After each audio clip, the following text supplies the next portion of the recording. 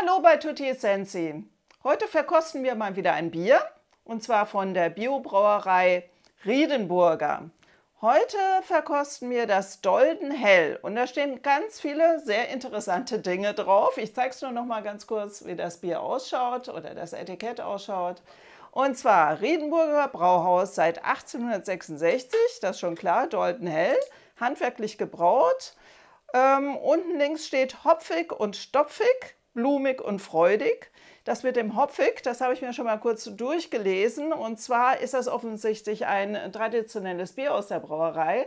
Und dann hat wohl der junge Brauer mal versucht, da was Neues zu machen und hat den Kalister-Hopfen genommen und es dem Chef gezeigt oder verkosten lassen. Und er sagte, hm, bei uns ist natürlich auch traditionell immer mal wieder was Neues zu machen. Und deshalb, und so genau so ist dieses Bier wohl entstanden.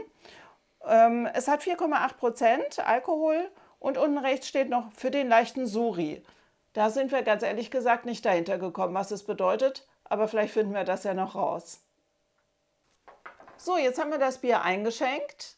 Wir haben eine schöne gelbe Farbe, nicht durchsichtig, einen recht äh, kräftigen Schaum obendrauf, sehr großporig obendrauf, auf der Seite eher kleiner und der hält auch recht lange an. So, jetzt haben wir das Bier verkostet und ich erzähle unsere Eindrücke. Über die Farbe und den Schaum haben wir ja schon gesprochen. Vom Geruch her hatten wir einige Eindrücke. Auf jeden Fall erstmal hopfig, das stieg zuerst in die Nase. Letztendlich auch ein bisschen süßlich von äh, den Früchten oder Fruchtaromen, die wir gerochen haben, kamen uns äh, Grapefruit und Kiwi in den Sinn. Etwas vegetative Noten wie von Geranie zum Beispiel oder ein bisschen Lavendel. Ähm, definitiv auch ein bisschen würzig. Muskatnuss oder Gewürznelke konnte man riechen und leichte Geröstaromen wie von geröstetem Brot.